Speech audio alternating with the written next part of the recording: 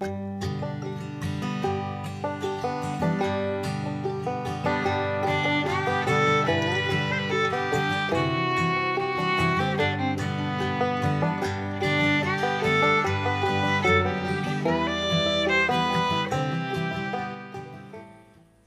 chào tất cả mọi người đang xem video của kênh youtube Khu vườn thú vị. Kênh mình chia sẻ một số mẹo để trồng và chăm sóc những loại phong lan và các loại cây kiểng khác, và một số mèo vặt để giúp ích cho cuộc sống của mọi người thêm nhẹ nhàng hơn. Đến với nội dung của video ngày hôm nay, mình chia sẻ một phương pháp để sử dụng phân dưa bón cho hoa lan mà giúp cho phân dưa nó sẽ không bị mục và rã ra. Và mình sẽ xử lý phân dưa để không bị nhiễm nấm hoặc là các loài hạt cỏ nó sẽ trộn lẫn lại trong những hạt phân dưa này. Và nó sẽ không bị rớt qua các cái lỗ khi chậu trồng nó đã thiết kế sẵn như thế này. Phân dê khi mua về, người ta đã ủ vi sinh hoặc là đã ủ với nấm trichoderma để loại bỏ các loại nấm gây hại cho cây ngoài ra, người ta đã tiệt trùng bằng cách là người ta phơi nắng để loại bỏ các hạt cỏ thường trộn lẫn vào trong phân Phân dê cực kỳ lành tính và chứa hàm lượng dinh dưỡng rất là cần thiết cho cây. Nó phù hợp hết tất cả các loài hoa lan và hoa hồng. Và để tránh tình trạng nó dễ bị mục hoặc là bị rã nhanh, thì nội dung video này mình chia sẻ một phương pháp để xử lý. Và mọi người cùng đón xem video nha.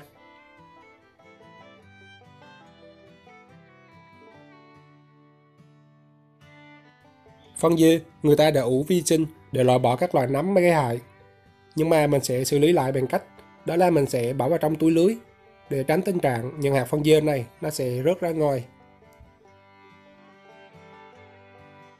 Và để xử lý bước đầu tiên mình sẽ bỏ phân dê vào trong những chiếc túi lưới có khả năng co giãn tốt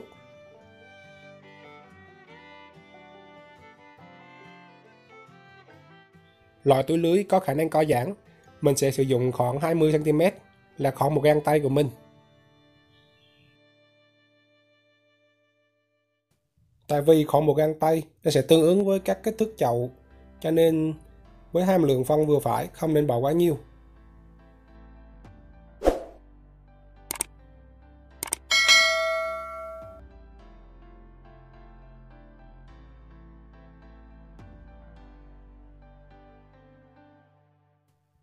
Tiến hành dùng một sợi dây vải để buộc một đầu của túi lưới để không cho những hạt phân dê nó sẽ rơi ra ngoài.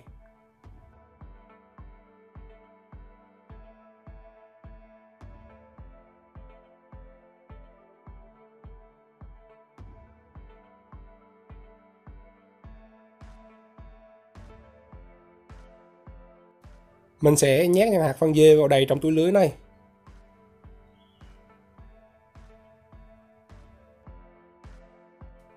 Để dễ dàng có thể bỏ phân dê vào trong những chiếc túi lưới, thì mình bỏ một lượng nhỏ và vuốt theo hướng từ trên xuống.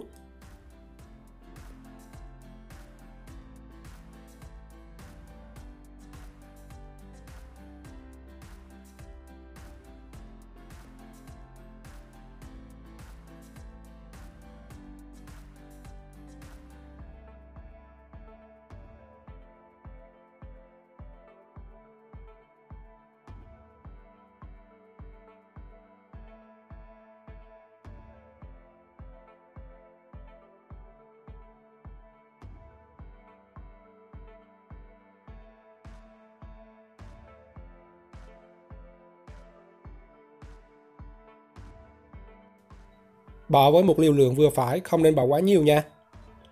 Và mình chỉ bỏ khoảng một túi của mình là 20cm và mình sẽ cột lại, cột đầu còn lại lại.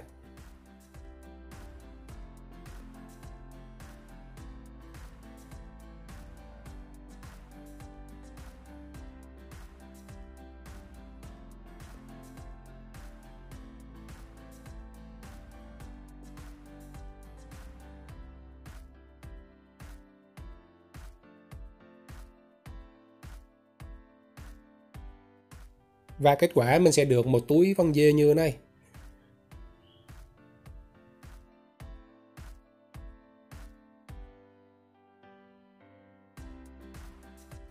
Mình đã làm xong 4 túi lưới phân dê như thế này. Và bây giờ mình sẽ đem xử lý bằng cách mình ngâm nước vôi.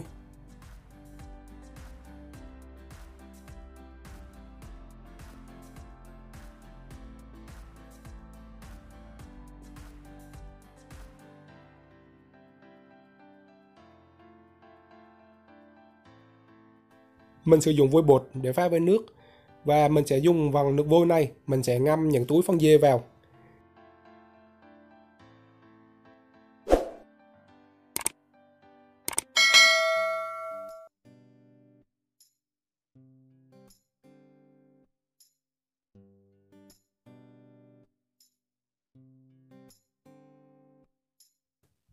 Sử dụng phân dê để ngâm với nước vôi, nó sẽ tiệt trùng và loại bỏ các loại vi sinh vật gây hại và các loại nấm gây bệnh thường sót lại ở trong phân dê.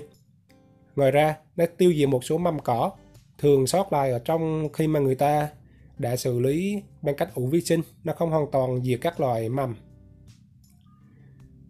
Và ngoài ra, nó sẽ bổ sung một hàm lượng canxi rất là lớn nhờ vào phần nước vôi trong, nó sẽ thẩm thấu vào trong những hạt phân dê này và nó sẽ rất là tốt cho các loại phong lan và hoa hồng. Mình ngâm phân dê vào trong nước vôi trong khoảng 15 đến 20 phút và tí nữa mình sẽ vớt ra và sẽ đi bón cho những cái phong lan của mình.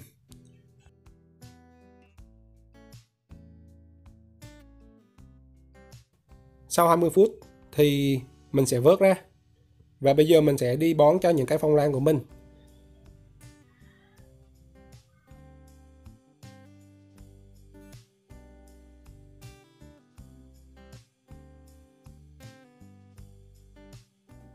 Mình sẽ đặt những túi phân dê ở dưới góc của những cây hoa lan. Và với phân dê này, nó rất là lành tính, cho nên mình có thể để sát gốc trực tiếp hoặc là để lên trên rễ, sẽ giúp cho những cái rễ lan nó sẽ ra rễ mới và trực tiếp bám vào trong những giá thể. Và xem phân dê cũng là một giá thể để giúp cho rễ lan nó bám vào. Ngoài ra, mình đã xử lý bằng nước vôi, cho nên những hạt phân dê này nó sẽ rất là lâu bị mục nát